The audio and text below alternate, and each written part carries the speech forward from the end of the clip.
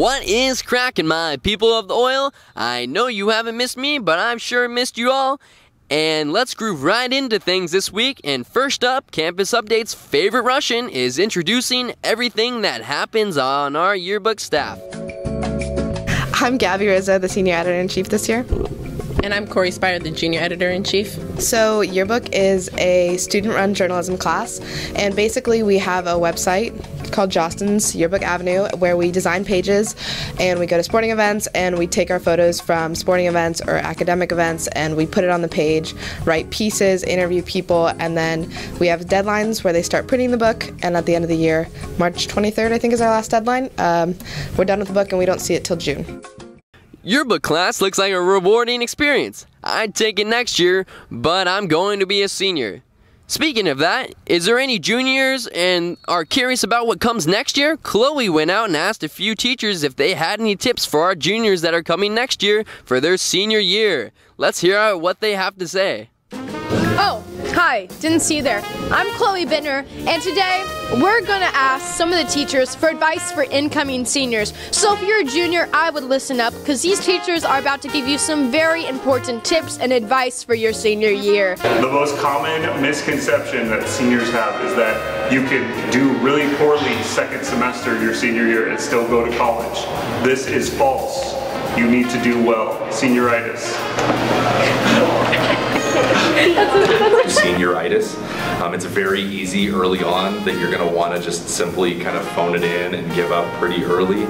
And the grand scheme of things is that your senior classes very much matter towards the actual graduation and then leaving of high school.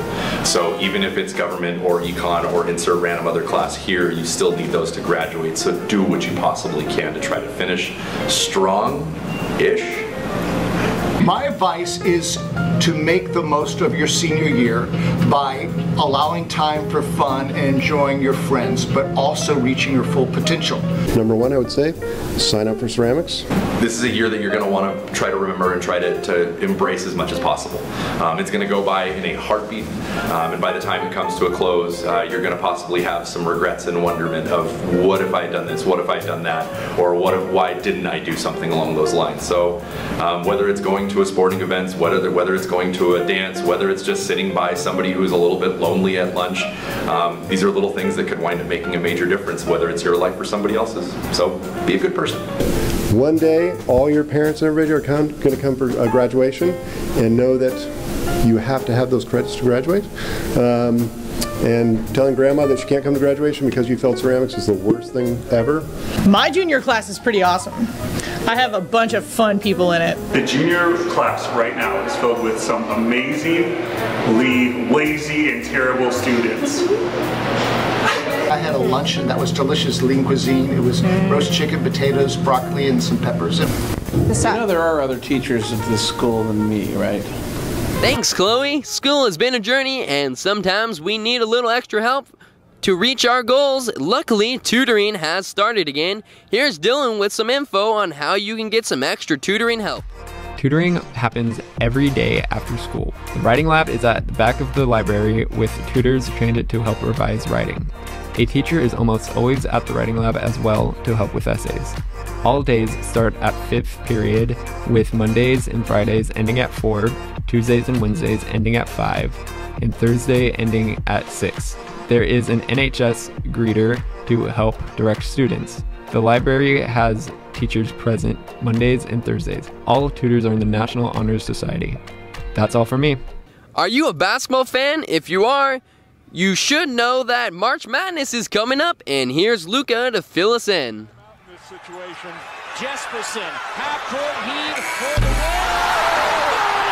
Jesperson it. Knowing that Iowa wins it at the buzzer.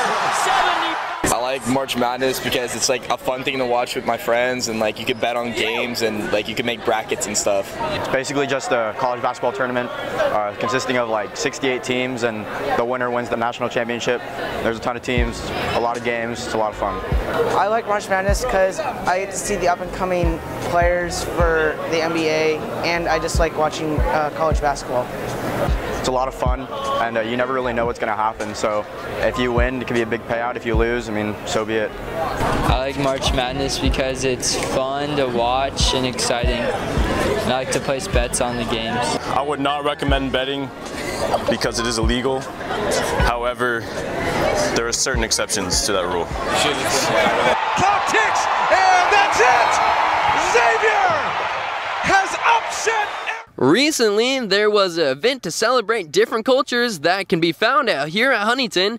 Tony attended the event and brought us some cool insights. Hey Oilers, this weekend I got the chance to swing by Culture Night, hosted upstairs in the library. Culture Night was a fun, informational, and interactive science fair like event where people showcased different customs around the room. They showed dances, music, and different dishes, as well as informational posters and artifacts. As people traveled from station to station, they were all greeted with a variety of different dishes and desserts that people got to enjoy, just like how the Hans did for their station South Korea. What we're serving up is uh, bulgogi, which is meat. Actually means hot meat, brown rice, and a little bit of kimchi. You can see that our, we have a little bit on the culture of Korea, sports of Korea, and the cinema of Korea with our recent proud film Parasite.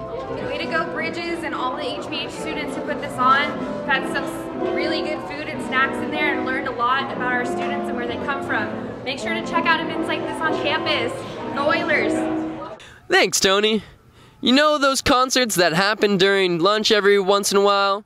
On Fridays, yeah, if you didn't know, that concert is called Lunch on the Lawn, and there are a number of them coming up. We sent out my main man Chris to find out some more info about it. Hey Oilers, Lunch on the Lawn happened a while back, so I tracked down some of the MMT pop students who played at the event to ask them some questions. Uh, one of my favorite experience with Lunch on the Lawn was being able to have like a full performance in front of everyone and create a set list with my friends and perform it, how to do some improv.